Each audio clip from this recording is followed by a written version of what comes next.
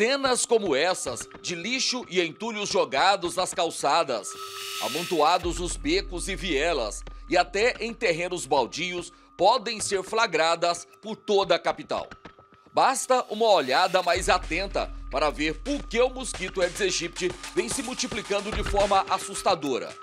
São garrafas jogadas por todos os lados, algumas com água e restos de bebidas. Sacolas plásticas, pedaços de madeira e restos de móveis, lotes inteiros cheios de materiais recicláveis. Nessa área, que fica entre o setor Negrão de Lima e o Goiânia 2, na região norte da capital, o lixo e entulhos vêm sendo descartados no meio do matagal. As larvas do mosquito podem ser encontradas por todos os lados, principalmente em embalagens plásticas como essa aqui. Em poucos dias, essas larvas vão virar mosquito adulto e vão continuar se multiplicando. Em pouco mais de um mês, uma fêmea do mosquito pode colocar até 1.500 ovos. Bem perto dali, a Gislene só consegue trabalhar no restaurante com o repelente por perto. Os mosquitos tomaram conta da região, que fica próxima à pecuária de Goiânia. Gislene já voltou ao trabalho, mas conta que pegou dengue e ficou 15 dias à beira da morte. Os sintomas foram terríveis. Eu pensei que eu ia morrer. Eu fiquei muito ruim, muito ruim mesmo. Muita dor no corpo, é, me deu diarreia, vômito. É, cheguei até a desmaiar três vezes. Eu fui para o hospital, mas não cheguei a ficar internada. Fui duas vezes, tomei soro e voltei para casa. E contratei um enfermeiro para me aplicar o soro em casa. Na área onde os alimentos são preparados no restaurante, foi feita até uma proteção com uma telinha. A dona do restaurante diz que perdeu 6 quilos e continua sentindo os sintomas provocados pela dengue. Até hoje eu não voltei a alimentar do jeito que eu alimentava. Quais foram as sequelas? O que você sente de, passou a sentir depois da dengue? Atacou muito meu estômago, o fígado. Eu fiquei ruim. Na casa que fica ao lado do restaurante da Gislene, encontramos a Jéssica. Ela trabalha como atendente e também se recupera da dengue. Foram duas semanas sofrendo com a doença. Era dor aqui atrás dos olhos, dor aqui, dor no, no joelho, dor no corpo inteiro. Você sente que tá quebrando seu corpo todinho sente que é muita dor de cabeça, sente febre também. Você não consegue comer nada, você não tem vontade de comer nada, nada, nada. Isso é muito perigoso. Só a da costeira acho que foi a pior. Foram três dias, dois dias, se eu não me engano, que eu ficava, que eu passei tipo dois dias sem dormir, porque tinha muitas costeiras nas mãos, minhas mãos incharam muito, meus pés também incharam muito e eu não, não conseguia, tipo, eu tomei antialérgico, passei pomada e não conseguia ficar sem coçar. Uma irmã e o primo da Jéssica, que moram na casa, também pegaram dengue. E enquanto nossa equipe conversava com a Jéssica, olha como os mosquitos Aedes aegypti estavam debaixo da cadeira. A atendente garante que na casa dela não existe criadouro do mosquito, mas nem todos os vizinhos permitem a entrada dos fiscais e agentes que trabalham no controle desses insetos. Pelo menos na época que vinham os agentes, batiam na porta, né? Eles não deixavam. Aqui na sua casa nunca encontraram? Não, nunca encontraram. Mas tem vizinho que não deixa eles entrar? Não, não deixava, pelo menos. Agora eu não sei. Esse tipo de resistência é grande na capital. Mas a Prefeitura de Goiânia conseguiu uma ordem judicial que permite a entrada dos agentes de saúde nas casas e comércios, mesmo se o proprietário não quiser abrir as portas. Desde 2017, todo agente de saúde ele tem autorização judicial para entrar no imóvel. Se a pessoa não quiser abrir a porta... Nós podemos pedir o auxílio da, da, da Guarda Civil Metropolitana, juntamente com o chaveiro, e adentrar esse imóvel acompanhamos uma equipe de fiscais e agentes de endemias na região sudoeste de Goiânia. Aqui, nesse imóvel de alto padrão, todo mobiliado, foi preciso chamar um chaveiro para abrir a casa. Primeiro, os guardas municipais verificaram se o local estava seguro e só depois os agentes entraram para fiscalizar o imóvel. Aqui, por todos os lados, os agentes encontraram larvas do mosquito Aedes aegypti. Um foco muito grande no ralo. Só nessa casa aqui, nós encontramos 11 focos. Agora imaginem, senhores, a situação deste imóvel.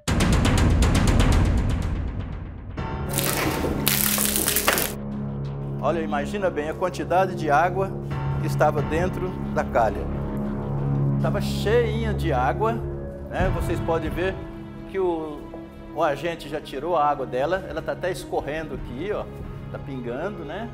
E estava cheinha de larvas com pulpa e muito mosquito no ambiente. E olha só como estava a piscina da casa. As imagens são assustadoras.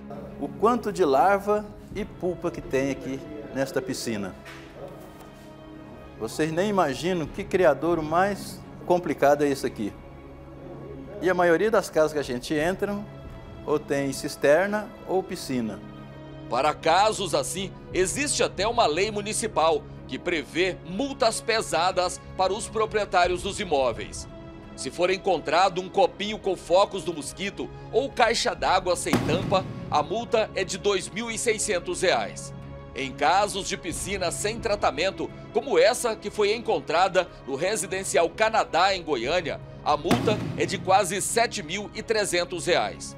Quem for flagrado descartando pneus em terrenos baldios ou tiver um pneu com focos do mosquito em casa, pode ter que pagar multa de quase R$ 4.400. Dados da Secretaria Municipal de Saúde de Goiânia mostram que 70% dos focos de dengue são encontrados em imóveis habitados. Ou seja, está faltando cuidados da população para enfrentar esse inimigo pequenininho, porém muito perigoso. Por incrível que pareça, nós não estamos cuidando do nosso lar, da nossa casa. E por isso tem aumentado e, e muito, e nós estamos numa situação de emergência é, na, na cidade de Goiânia. Na rua onde ficam o restaurante da Gislene e a casa da Jéssica, parece que os vizinhos não estão preocupados com a doença. Garrafas vazias estão espalhadas nas calçadas.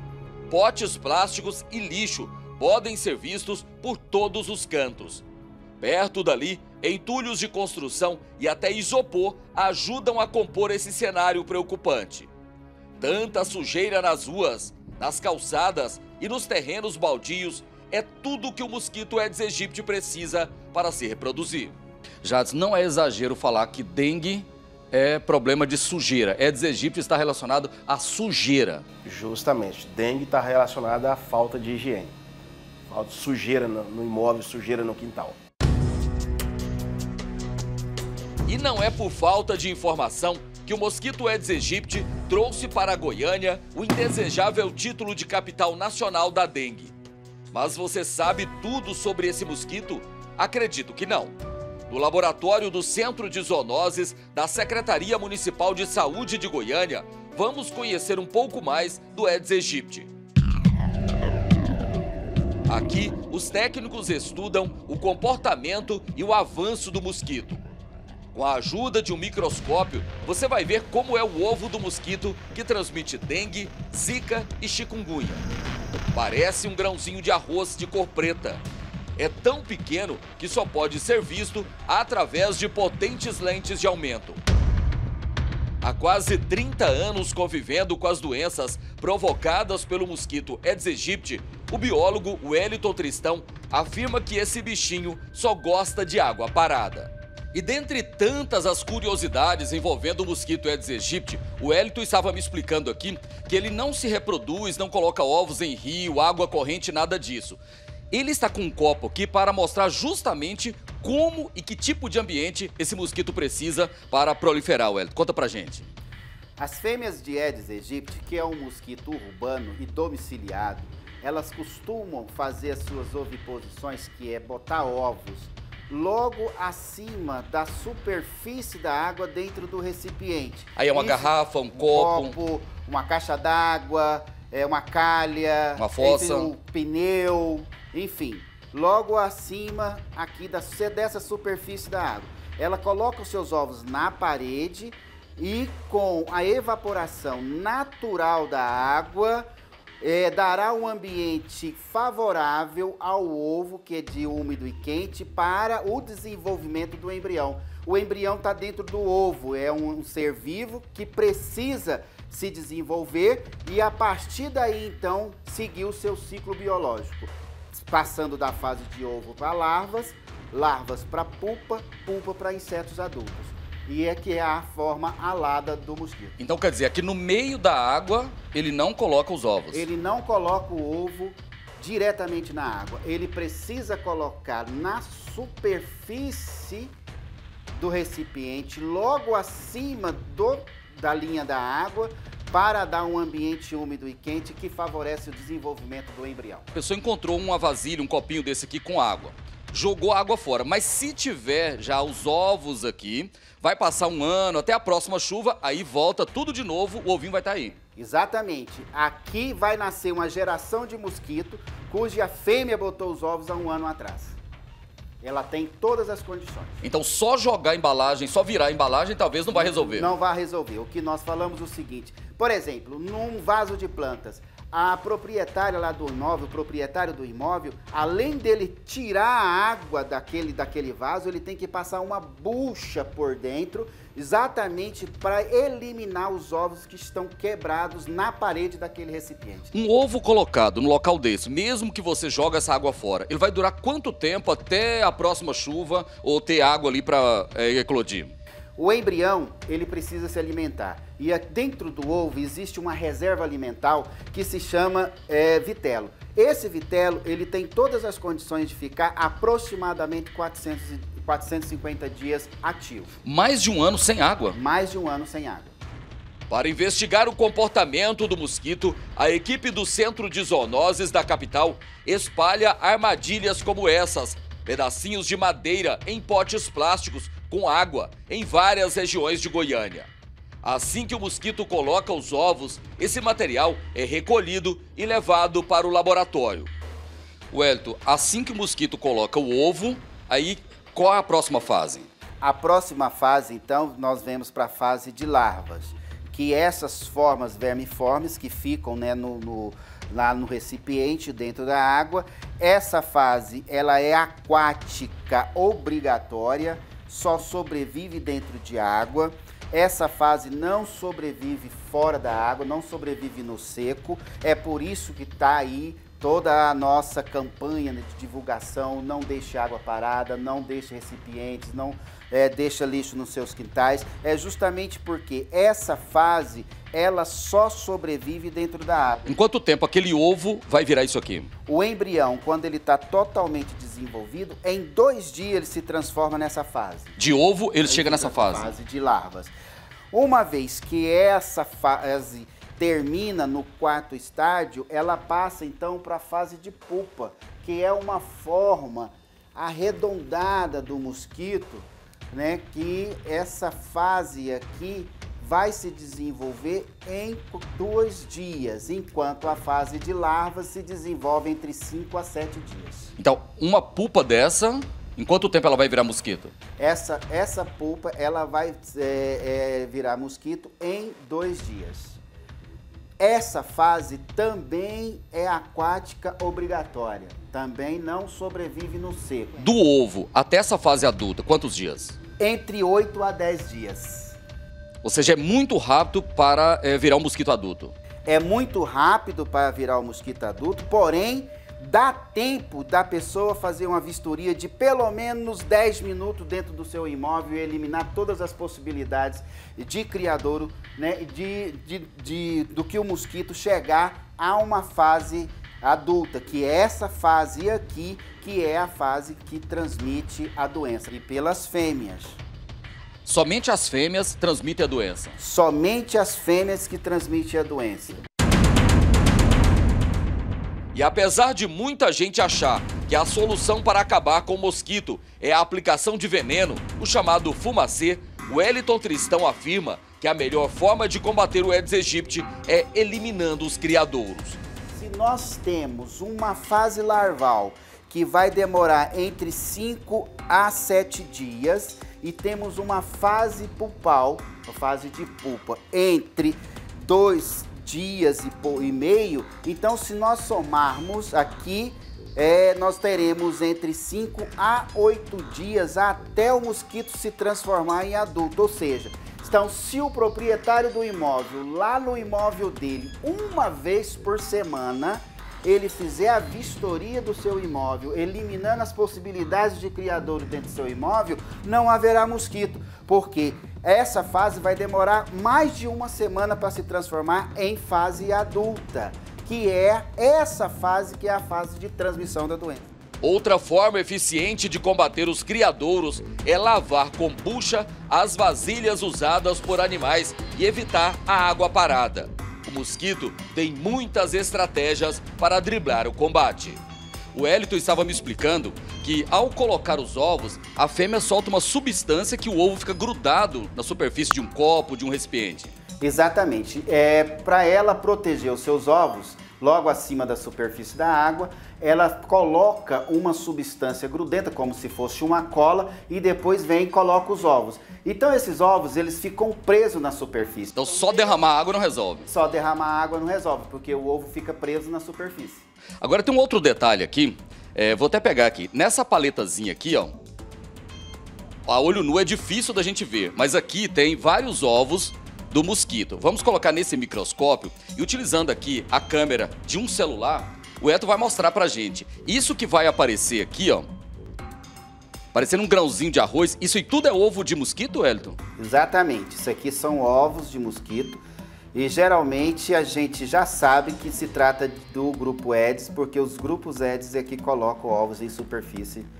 Uma paletazinha dessa aqui, tendo contato com água, em pouco tempo nós vamos ter uma multidão de mosquitos.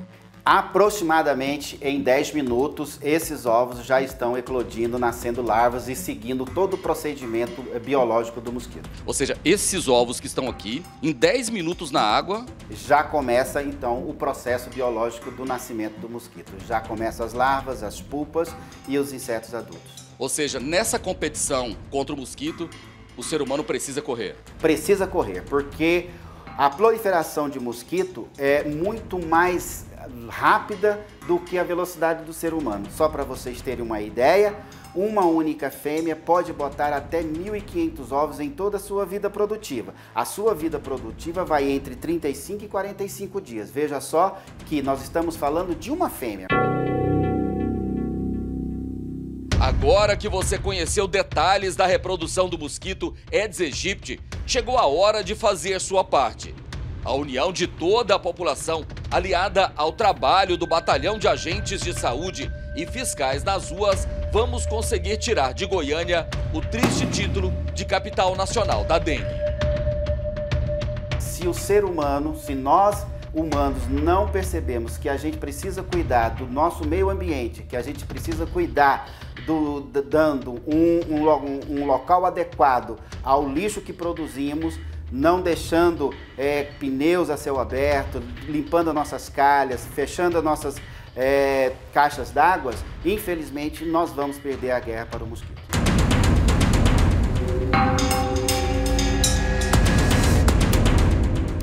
E não seria nenhum outro exagero também falar que, infelizmente, nós, como sociedade, nós estamos criando o inimigo. Exatamente. Uma vez que você permite que tenha um recipiente dentro de sua casa que esteja proliferando o mosquito, com certeza nós estamos criando o inimigo.